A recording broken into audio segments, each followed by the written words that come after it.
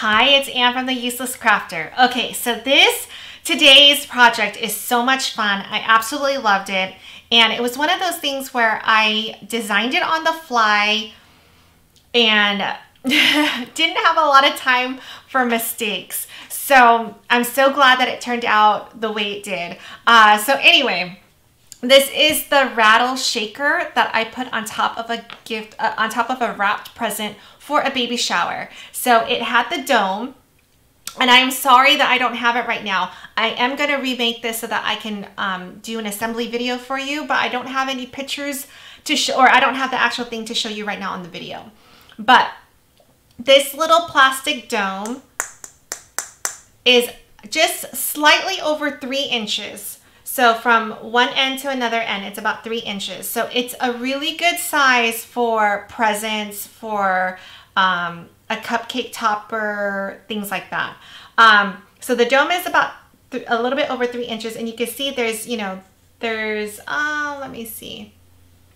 There's some space to put things in there and we're gonna make it a shaker. So I had really fun, like pretty purple, I mean, I'm sorry, pink and white confetti in there. It made a ton of noise. It was super cute. This is, so I'm gonna show you the details and then we'll go and we'll recreate it. All right, so the first thing is, here's the name. The name, I, you know, because we're limited, we know we can go up to three inches, but not really because if you stack it kind of high on the edges, you don't have three inches, right? Because it's a little dome. So while if you had it flat, you can go all, you know, the full three inches, but as soon as you start stacking things, you're gonna have to go in a little bit. So I made this 2.6 inches long. And you can see this is really delicate, right? It's one of my favorite fonts. It's Hannah Berry Koo from Creative Fabrica. So the link will obviously be in the description. And you guys must know by now, I, it's one of my go-to. Um, Avery, I believe is just uh, the typewriter font. So, you know, one of the rules for designing um, when you're using fonts is to have a mix of fonts, right? I believe it's three fonts max, but I always like to pair a really cursive, pretty handwriting font with a just a regular, you know, plain um, type, uh, I don't know, print font. I don't even know what you call those.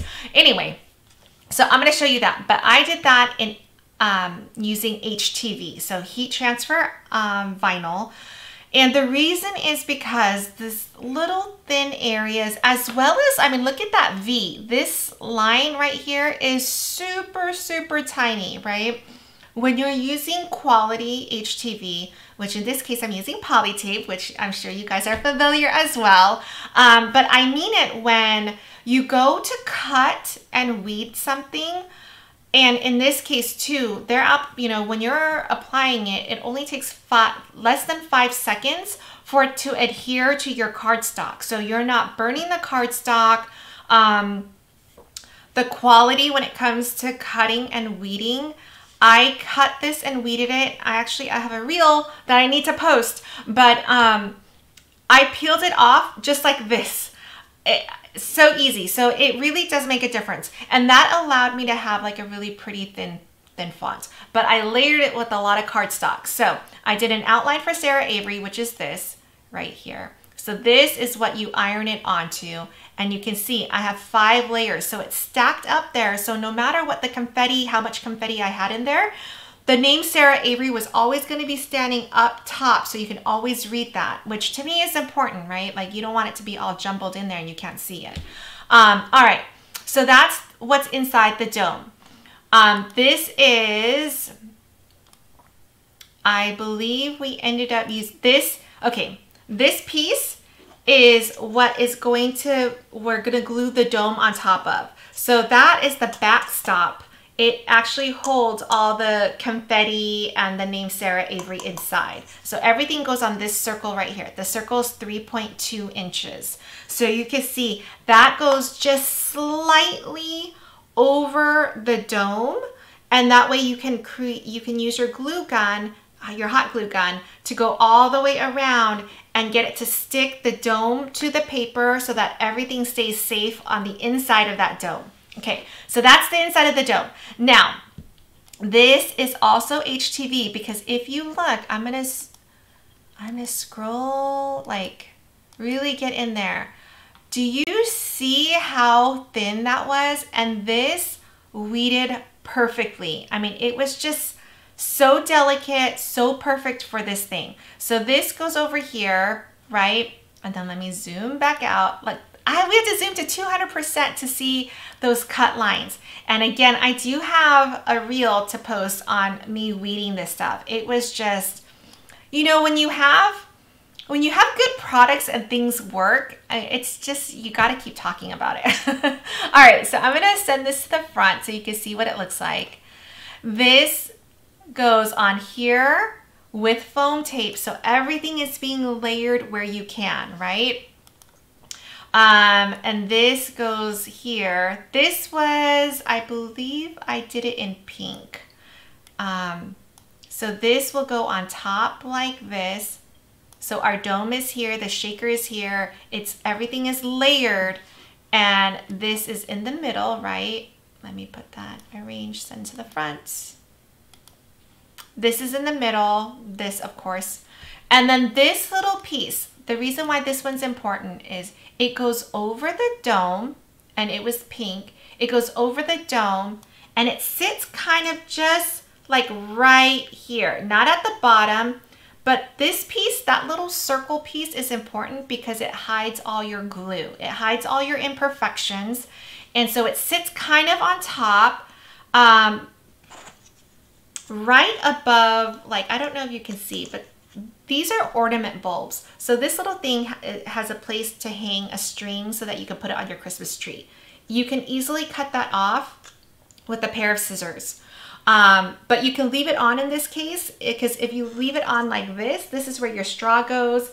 The circle piece sits on top of it, so it covers it. So it doesn't matter if you want to cut it off or not. But my point is that that little um, piece of cardstock is going to sit right above the dome, kind of far back, so it hides all your imperfections. All right, so now you understand like the pieces that, you know, make up this piece. So this can be so many different things. We didn't have to do this outline, right? Anything circular, like any kind of circle um, uh, image, you know, I really wanted to make this cutesy girly. It was a baby shower. So, and then and then creating the offset, the layers. And the layers, wherever I could, I did use foam tape to just keep building this thing out so it wasn't so flat. It, I mean, of course it's not gonna be flat with the dome, but it just felt like it was a beautiful piece in person and everyone that saw it had to stop for a second and look at it and you and with the sound as well it was just like a really really cool project all right so let's start with the name, okay? So the name is Hannah Berry Coo from Creative Fabrica. I'm gonna go to text and I'm gonna show you how to do it because the little swirls at the end, I think really makes it, you know, delicate, feminine, super girlish, right? Um, so the font, let's go here. And it's Hannah Berry Coo so that you can see what it looks like. And I'm gonna type in Sarah. Oops, and no H, sorry. Okay, so I'm gonna leave it up here for a minute. I use MainType, so you need to download that. So let me pull it up over here. And I'm gonna show you, this to me is one of the easiest ways to work with um, the extra, I think they're called PUA encoded something. anyway, this to me is one of the easiest ways to um, bring in all the extra um, swirls and everything that comes with it. So I use the free edition. Um, I'm gonna close this. So these are all the fonts that are on your um, desktop. Um, so this is my computer and these are all the fonts here. So what you wanna do is I'm gonna scroll down to Hannah Berry Coo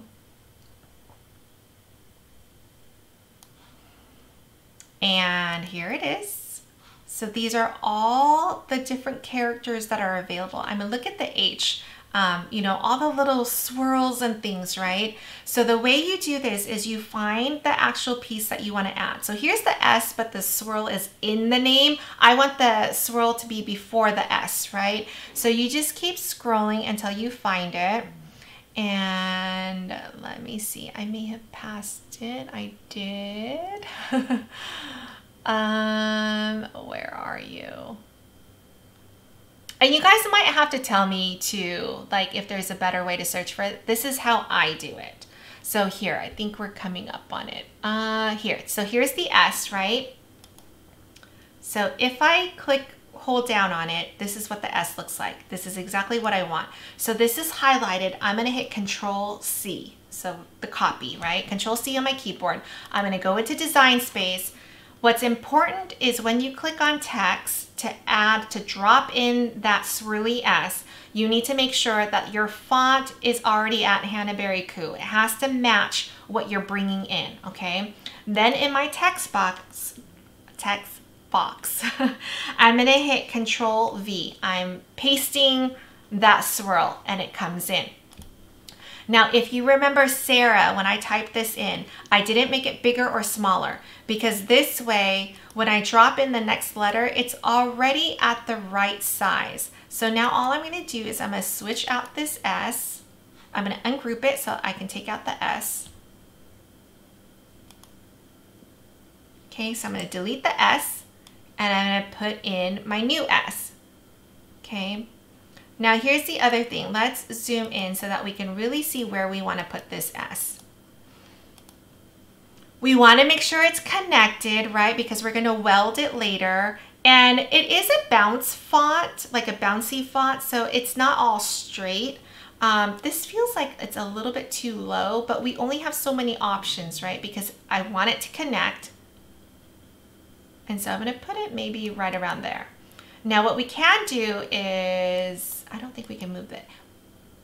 Well, when we change the A. So let's go and go back to MainType and look for the A with the end here, this one, right? So that's what it's gonna look like. It's highlighted. I'm gonna control C, go back to design space and text box, right? Make sure that's Hannaberry Coo so it matches. Then in my text box, I'm gonna hit control V and drop in that new A.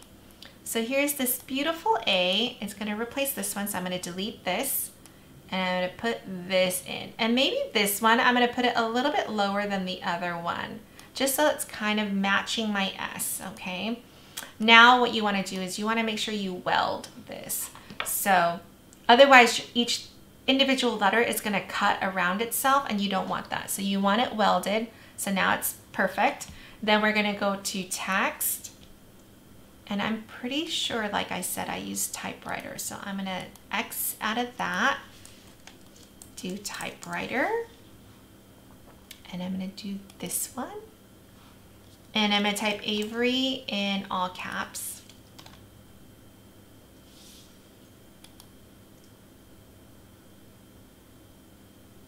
Hmm, okay, there we go. Like it's not letting me do it. Um, all right, so Avery's coming. Here we go. And I want to make this smaller, right? I want it to match this.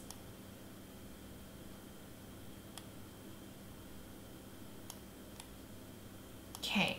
What's great about this is now I can grab these two items and I can align and I want to center it horizontally so it's perfectly aligned and then I can just weld this.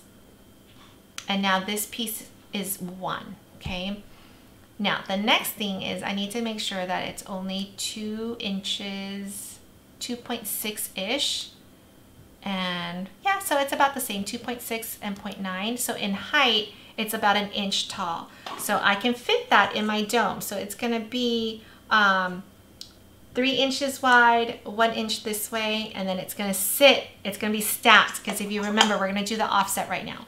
So Sarah Avery is gonna be an HTV. So I need to do an offset so that I can iron it onto something, right? I typically like my offset to be at 0.1. You can use the ball the dial to make it bigger or smaller. So I move this super far out. Let's see when design space. So see, it could be really big like this, which I don't like, um, but I'm gonna manually type in 0.10. And let's see it update. Hopefully it'll update.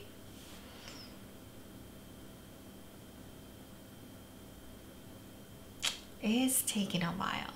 So anyway, if it doesn't let us do it, because sometimes Offset does that, um, I'll try to, okay, it's not working. So I'm gonna cancel out of that one. Let me see if it'll let me do it on this one. It's always a workaround. Okay, so I'm gonna do 0.10. Let's see if it will apply on this one. So that's clearly not 0.10. It didn't update on here. Okay, let's see if I can do it on here. See if it'll get thinner for me. Um, once it does, then you want to click on apply. Um, and it might not do it today, so I apologize. Um, like I said, once it you know shrinks down, it gives you that tiny offset which it should look like this. Let me show you what this looks like. So maybe this wasn't 0.1 because this looks kind of thick.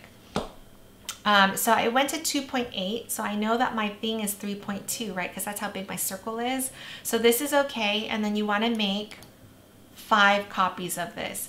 Worst case is, you know, if it gets too high and doesn't fit in your dome, then we just do four layers. But you don't want to do four layers and then say you want an extra layer. Cutting it is annoying, so I would cut five layers. All right, so the name is out of the way. Let's go back to here real quick. And hopefully you guys haven't, you know, the offset for the most part, it works for me. It just didn't work then. All right, the dome is gonna be 3.2. So all you do is you take a circle and the fastest way is you would just take this circle, go to the size and type in 3.2. And because it's a circle, the width and the height will match. And so it's 3.2 all around. All right, so that's our what we're attaching the dome to. Okay, so I'm gonna delete that. All right, this little guy is a little bit trickier because I had to do him a couple of times. The outer layer is 3.55. So let's go to our circle, add a circle and do 3.55. Okay.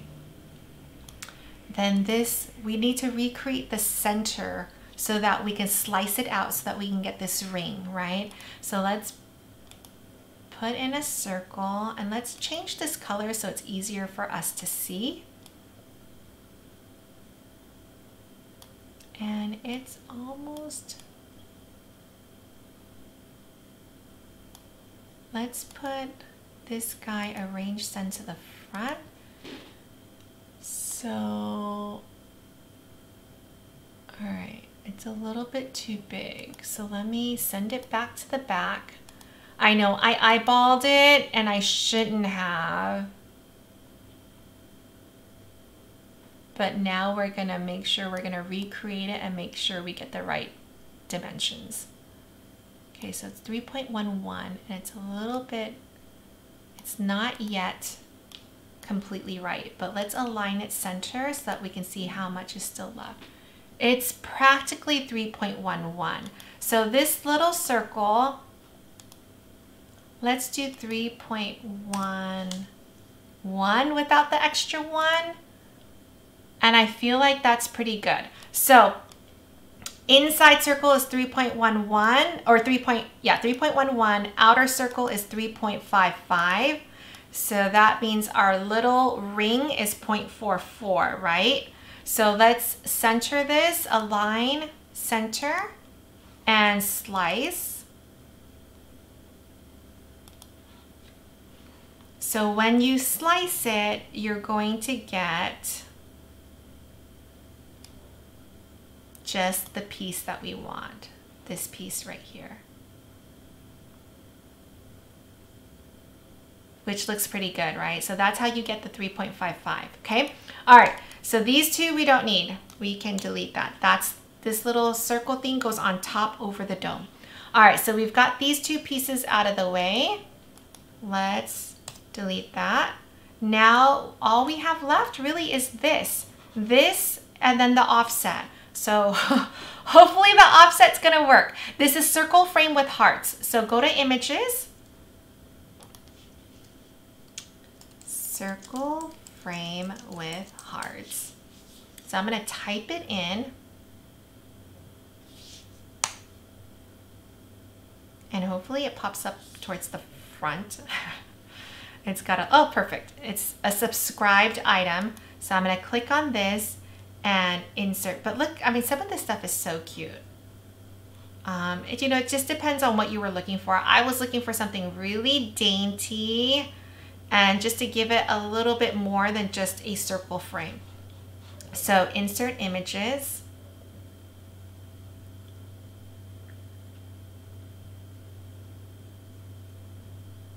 And I made it, let's see, this is 4.172. So we're just gonna recreate it, okay? So this, I'm gonna put 4.172.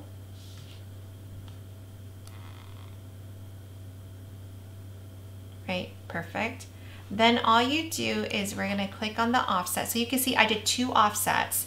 And then this last one is actually the second offset, but I just wanted, I wanted my straws, the holder, the cake top holder or the, you know, whatever, I wanted it to have like a really firm base. So I had this, because this is already covering the middle. So you're not gonna actually see this at all. This is more for my straws to sit on top of and have like a really good background, okay? So go to this one, click on the offset, and I'm pretty sure, you know, I did 0.10. Let's see if it works on this one. Okay, perfect. So I'm gonna click apply. So there's my first offset, right? I'm gonna change the color. I'll match it to what I have in purple. Then I did another offset. And see, it already did it. I'm gonna click apply. And that offset I did in pink. So I'm just gonna change the color.